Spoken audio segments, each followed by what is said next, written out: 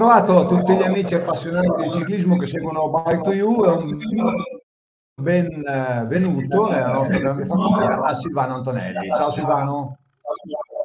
Ciao, grazie dell'invito e buona giornata o buona serata a tutti quanti voi che ci ascoltate. Eh, purtroppo il eh, mio invito è stato, eh, diciamo così, eh, provocato da ciò che è accaduto al Giro di Svizzera recentemente, la caduta eh, di Gino Mader, che purtroppo è costata la vita al ragazzo svizzero.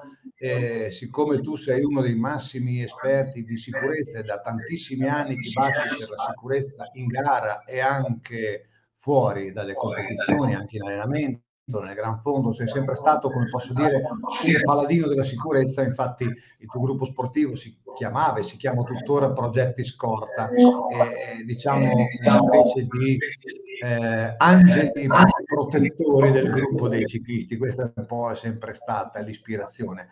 Eh, intanto al di là del cordoglio che ci eh, tocca molto da vicino, perché tutte le volte che scompare un ragazzo che conosciamo o per un incidente o per altri motivi, se ne va sempre un, pezzo di noi.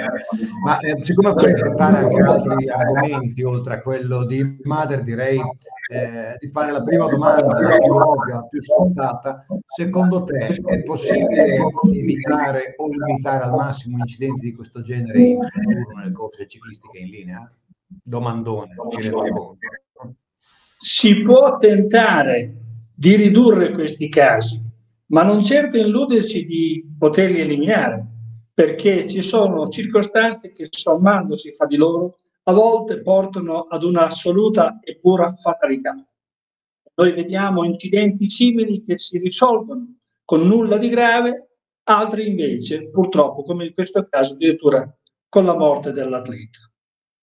Possiamo dire su questo caso che non pare ci siano responsabilità dell'organizzatore, Quel, quella, quella curva viene indicata tutto sommato come una curva piuttosto ad ampio raggio, abbordabile.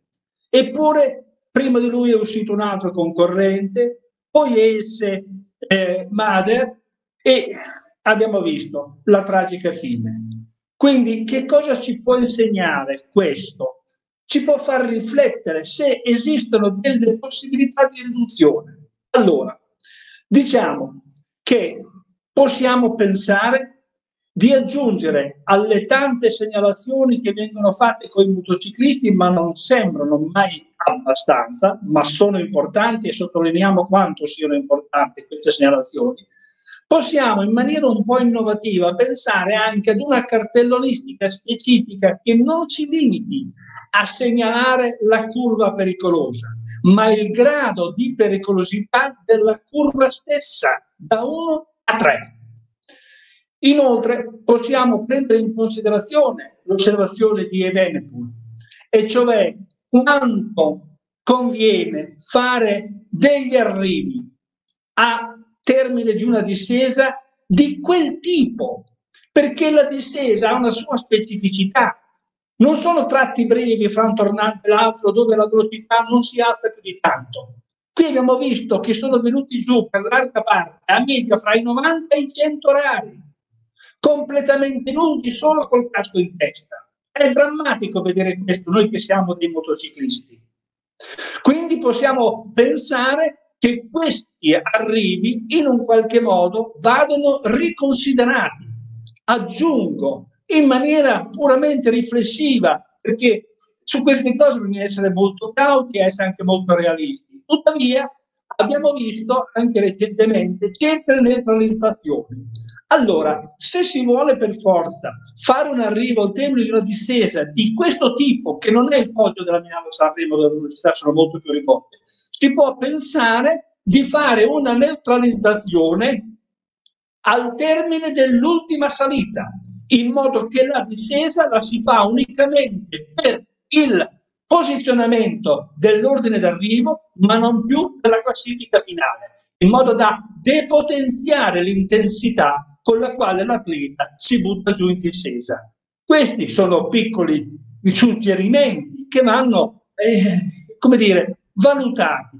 Aggiungo, sempre sulla tua domanda, che vivo una sorta di angoscia rispetto al fatto che vedo l'evoluzione tecnologica che introduce materiali sempre più performanti, ma parimenti, a differenza della Formula 1 o della MotoGP, dove anche queste sono gare di velocità per eccellenza e anche noi quando andiamo giù i 100 all'ora in bici siamo perfettamente in una gara di velocità, non viene costantemente aggiornata la possibilità di ridurre in funzione dell'evoluzione tecnologica la governabilità del mezzo e quindi avere strumenti sotto di sé da guidare che siano più sicuri rispetto a un passato. Io drammaticamente, come nell'abbigliamento dei ciclisti, vedo che alla ricerca tecnologica non corrisponde un minor grado di sicurezza. E questa è la domanda che, che chi produce materiali, chi costruisce bici, se la deve porre molto concretamente.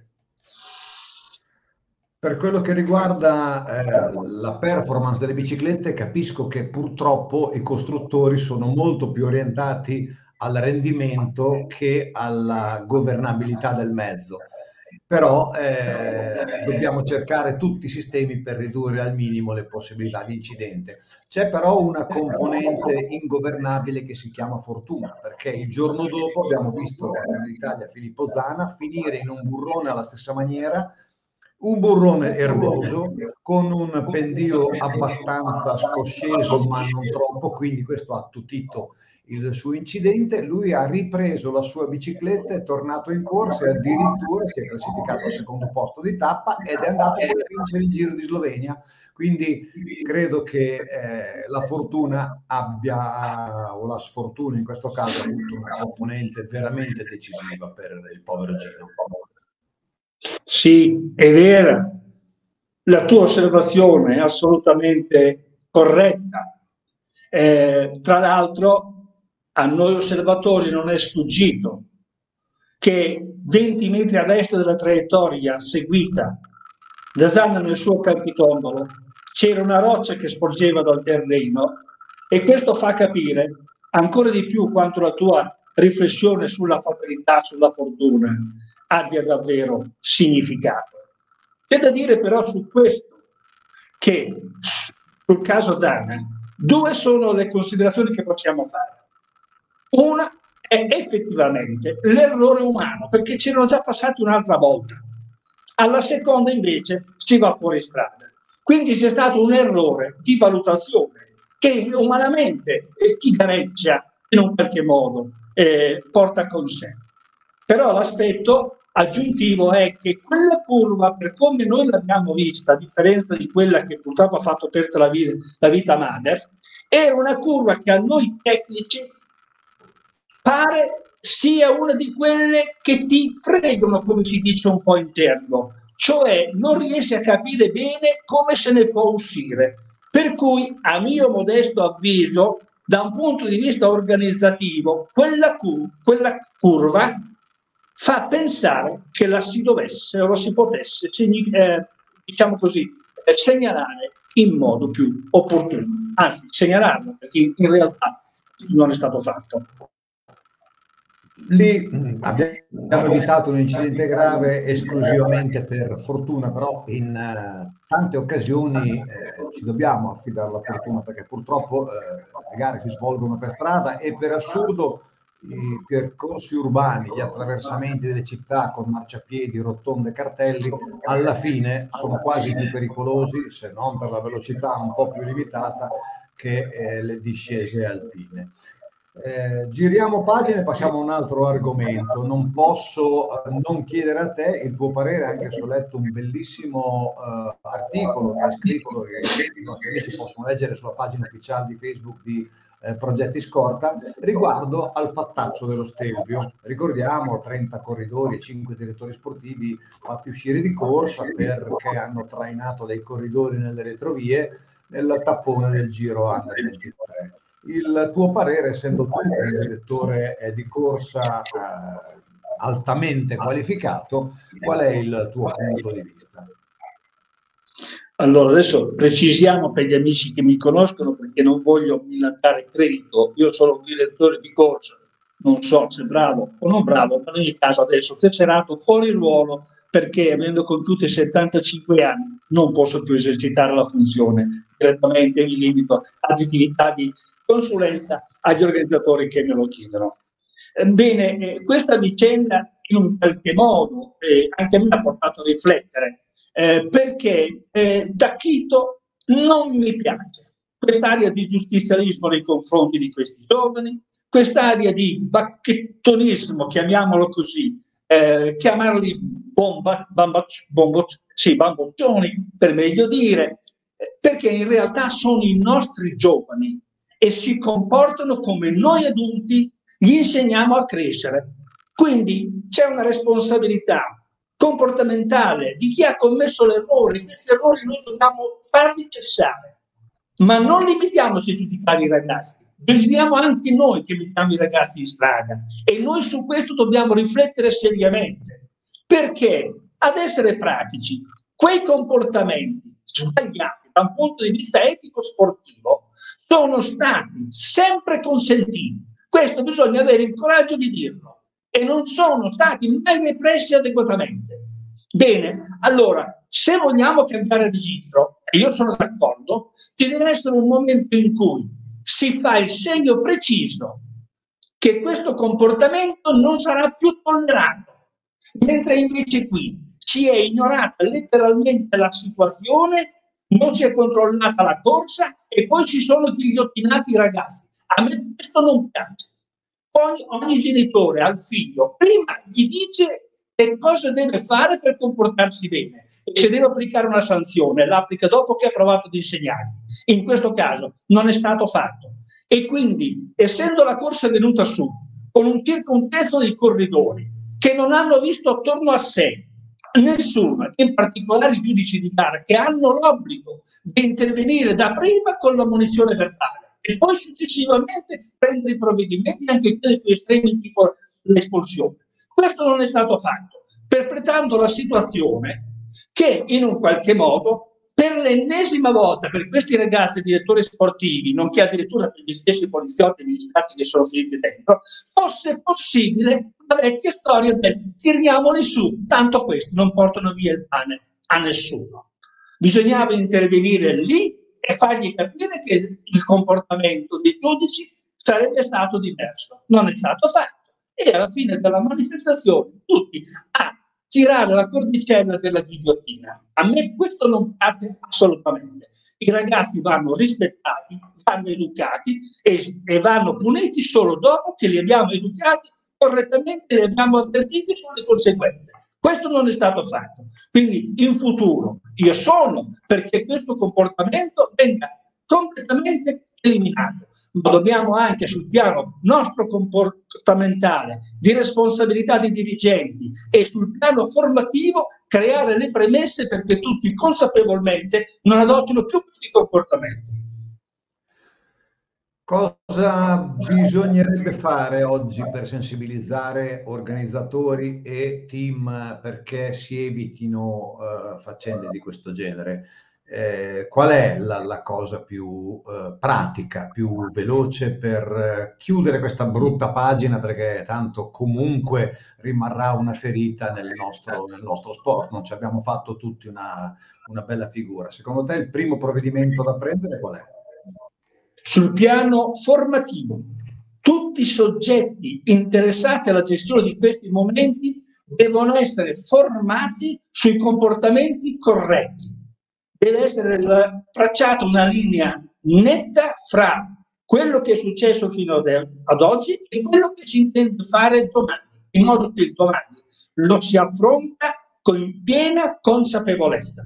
Poi gli strumenti ci sono, perché di fronte a situazioni particolari e vedono difficoltà di percorso, come poteva essere questo, gli strumenti sono quelli di allungare il tempo massimo fino a comprendere le situazioni di fatto che vogliamo tutelare. C'era anche la possibilità, una volta superato il tempo massimo, ed è stato fatto più volte, considerare comunque il contesto complessivo, la difficoltà, il caldo, scusami, tutto quello che scusami, scusami se ti interrompo Scusami sì. Silvano se ti interrompo, eh, è ambientata l'audio, si è sentito male per qualche secondo, siccome stavi esprimendo un concetto molto molto interessante ti pregherei di ripeterlo. Chiedo scusa ai nostri telespettatori e a te, ma era molto molto interessante. Stavo dicendo che soprattutto bisogna formare i soggetti interessati alla gestione di questi momenti.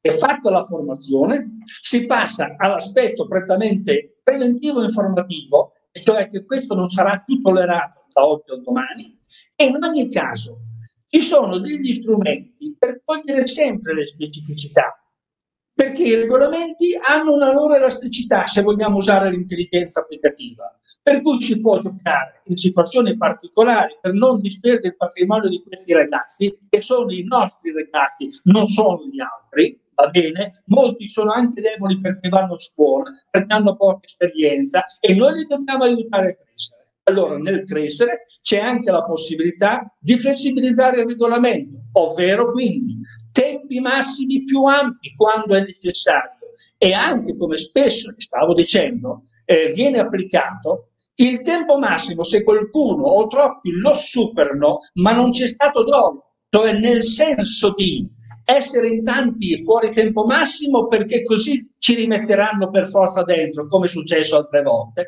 ma considerando effettivamente che i ragazzi, pur avendo un atteggiamento etico corretto, non ce l'hanno fatta, allora si può accettare il rientro anche se hanno superato il tempo massimo. Dobbiamo essere persone che sanno ragionare come applicare i regolamenti, non applicarli in maniera secca e quasi in maniera stupida. La responsabilità degli uomini, come le leggi, sono funzionali oppure no a certi obiettivi.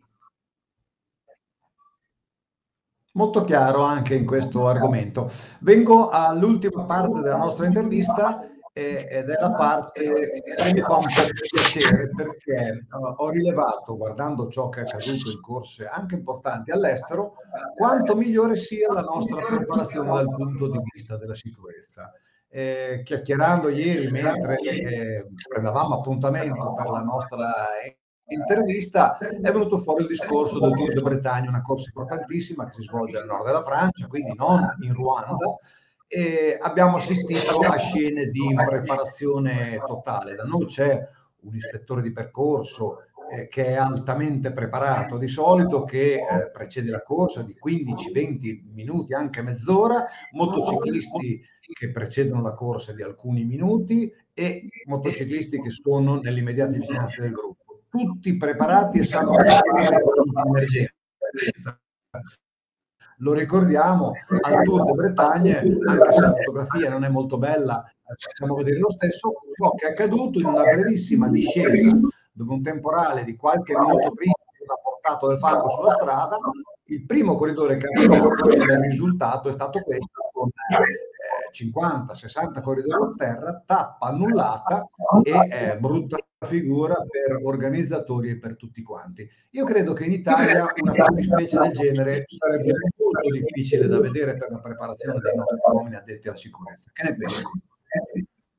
Sono d'accordo con te, Gianluca, che difficilmente possiamo immaginare che una situazione del genere eh, possa potesse accadere anche eh, in Italia, perché il grado di preparazione dei nostri motociclisti privati è impareggiabile rispetto a quello degli altri paesi. Noi veramente qui, la federazione, a partire dal 1998, quando ha introdotto i corsi per motostaffette, ha fatto veramente scuola, ha fatto. E noi generalmente abbiamo dei motociclisti molto responsabili, molto professionali, tanto che la federazione pretende che appunto abbiano la tessera di motostaffetta barra scorta tecnica quando inseriti nelle loro competizioni. Io sono sicuro che in una circostanza simile, come si sarebbe dovuto fare, qualcuno della scorta avrebbe disposto il fermo di almeno un motociclista a segnalare il tratto pericoloso. Perché se quel tratto piuttosto lungo consentiva comunque alle moto di sfruttare la parte più asciutta o addirittura le auto di passare quasi indenne, andava compreso che il gruppo che tiene tutta la careggiata, in quel punto bastava un niente, un piccolo scarto di direzione, un piccolo tocco sul freno per creare il patatrack come è avvenuto, fortunatamente senza particolari conseguenze. Ora, chi mi conosce sa che io non sono bacchettone, non mi vede scrivere sui social, le, fare critiche agli organizzatori, perché quando gli errori ci sono, io cerco umilmente sfruttare l'occasione per capire come si poteva fare meglio e domandare me stesso, ma io avrei fatto meglio? E ogni volta dobbiamo avere l'interrogativo se davvero noi saremmo stati migliori degli altri. Ma non vedo dubbio che in quella circostanza mi permetto di dire è stato un errore tecnico, di valutazione di comportamento. Qualcuno doveva segnalarlo, poteva essere avvisato dall'ispettore di percorso, potevano essere le stesse motostaffette professionalizzate le nostre lo sono, altre no. Aggiungo in particolare Gianluca che all'estero non esiste la figura del direttore di corsa. Per cui in corsa di fatto tutto è affidato al presidente di giuria, che ovviamente non ha esperienza di questi casi in molte situazioni e non ha comunque il polso e il potere decisionale che da noi ha un direttore di corsa in quanto responsabile della sicurezza. Lui può chiedere che la corsa venga fermata e neutralizzata ne ha facoltà di sopra del presidente di giuria. All'estero questo non esiste. Quindi l'Italia è l'unico paese che ha la figura del direttore di corsa, che somma anche la responsabilità dell'addetto alla sicurezza. Altri paesi non ce l'hanno, però noi, mi pare, che non riusciamo a fare brecce verso gli altri, ma sono gli altri che travasano su di noi i comportamenti più generalizzati e anche meno attenti che a livello europeo esistono. Quindi due cose fa vedere questa situazione e presupporre che forse in Italia non sarebbe successo. La qualità delle nostre motostaffette scorte tecniche, di cui dobbiamo essere tutti orgogliosi, è il fatto che noi abbiamo sempre avuto, abbiamo più che abbiamo sempre avuto, il direttore di corsa che ha la possibilità di governare situazioni che all'estero invece non si riesce a governare con la stessa efficacia e tempestività. È impossibile avere un protocollo internazionale che imponga anche agli altri paesi di avere queste, direi, minime cautele eh, nei confronti di chi regola la corsa. Cioè, non sapevo che non c'era il direttore di corsa, io avevo il dubbio che non ci fosse l'ispettore di percorso, il direttore di corsa lo davo per scontato praticamente. Allora, l'ispettore del percorso del regolamento UCI è previsto per certi livelli di manifestazione, ovviamente non per, non, non per tutte. Bene?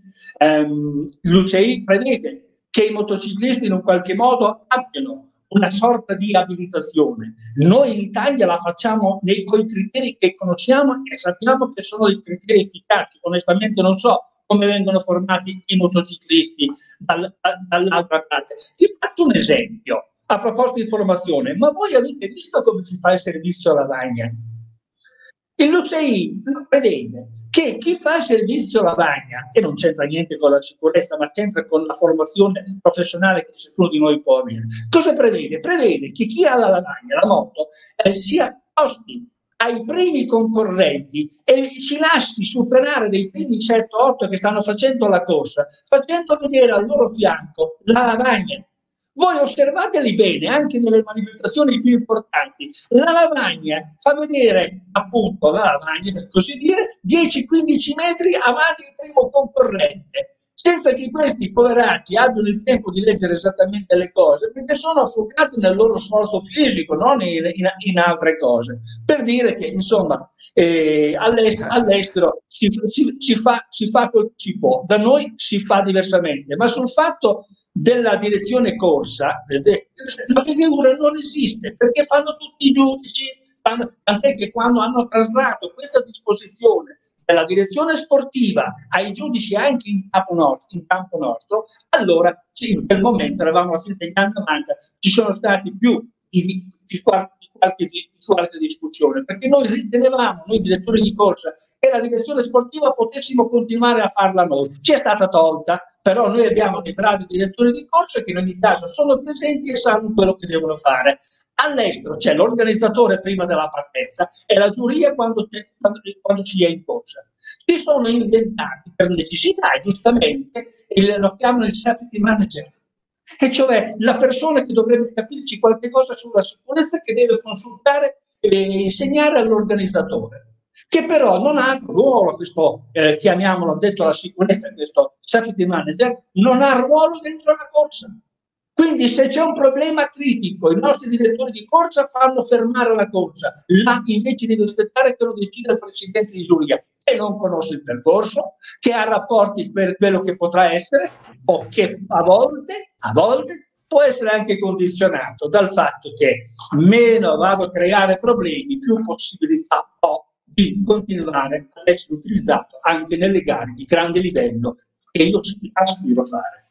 Quindi Devo il continuare? safety manager diciamo che è eh, una entità che in Italia non c'è, ma insomma mi pare di capire che non se ne senta moltissimo, moltissimo il bisogno. No, allora, perdona, per certe fasce più alte di manifestazioni, lasciamo stare lì World Tour, eh, cioè, parliamo di delle più certo. alte, così certo. il pubblico normale si sente. Quindi in realtà sono due livelli di competizione in cui c'è l'obbligo eh, generale ormai di avere questa figura attenta alla sicurezza. In Italia, quindi, per quelle manifestazioni si applica il concetto e va quindi individuato il safety manager. Solo che noi, avendo i direttori di corsa, che per definizione sono i responsabili della sicurezza, si accetta la dichiarazione che il safety manager lo fa il direttore di corsa e quindi si somma la competenza con la capacità di intervento, perché per la sicurezza bisogna avere capacità di previsione, di valutazione del, del, del, della circostanza e efficacia di immediatezza. All'estero questo safety manager esiste, ma esiste sul piano della preparazione della corsa. Ma una volta che la corsa è partita, lui non ha più ruolo, non ha, se non consultivo, ma chi governa la corsa deve avere invece la capacità e, la, e il potere di agire in maniera determinata in qualsiasi circostanza. Eh, le corse non sono treni passivi, le corse sono dinamiche eh, regolarmente gestite, serenamente spesso, per cui se abbiamo professionalità, noi sappiamo anche quando è il caso di intervenire, fino anche a chiedere una breve neutralizzazione della competizione.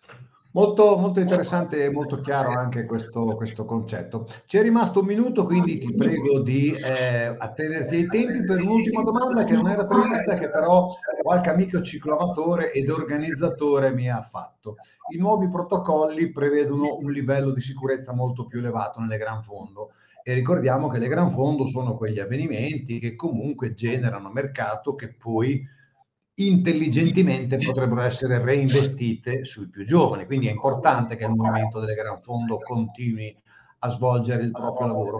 Come giudichi questi protocolli? Se li ritieni eccessivi, giusti o cosa sarebbe giù, corretto secondo te fare? Se puoi in un minuto. Allora, innanzitutto il disciplinare, che è un obbligo di legge, più i protocolli che si fanno fra la federazione e gli enti di promozione sportiva. Non trovo nulla di eccessivo.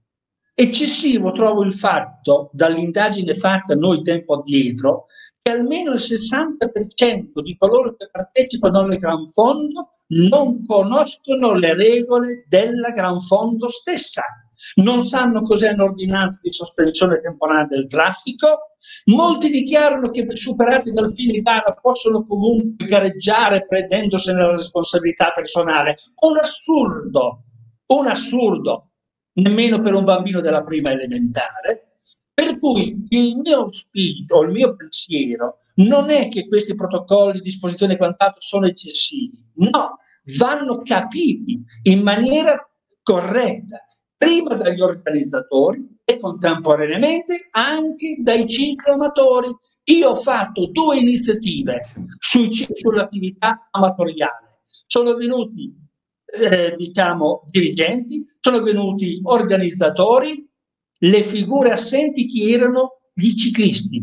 Allora, di che cosa stiamo parlando? Se quando è il momento di parlare di sicurezza, di formazione, di prevenzione, i ciclisti non sentono il desiderio di conoscere il terreno e le regole di quel terreno sul quale loro vanno a spendere la loro vita la domenica. Da questo punto di vista, quindi io sono anche un po' deluso spero che anche attraverso quello che diciamo adesso nasca il desiderio di ciclisti di dire facciamole queste riunioni, fateci conoscere le regole, perché dobbiamo interfacciare il nostro comportamento con quanti sono gli obblighi degli organizzatori e le disposizioni di legge. Gareggiare è un atto di libertà, santo Dio, ma dobbiamo farlo in consapevolezza di quelle che sono le norme, le procedure e le disposizioni che la legge e il regolamento sportivo prevede per lo svolgimento di queste competizioni. Così si salva la vita e si riduce il rischio e si tutela la sicurezza di tutti noi. Speriamo che le nostre parole giungano a segno e che aiutino un po' i nostri amici pedalatori a farlo con maggior sicurezza e portare ancora più beneficio al movimento giovanile, che è quello che a me e te so sta veramente più a cuore del ciclismo di, di vertice. È stata una chiacchierata interessante, gli argomenti erano abbastanza delicati, ti ringrazio infinitamente, saluto tutti quelli che ci hanno ascoltato e seguito e lo vorrei fare con questa immagine un'immagine molto triste che non avremmo mai voluto mandare in onda, però purtroppo è accaduto e noi possiamo solo fare in maniera che tutti si ricordino di ciò che è accaduto perché non avvenga in futuro. Ciao, grazie Silvano e grazie a tutti quelli che ci hanno seguito. Grazie, grazie di cuore per avermi invitato e anche per aver avuto la bontà di ascoltarmi. Spero di essermi reso utile. Un abbraccio a tutti quanti voi.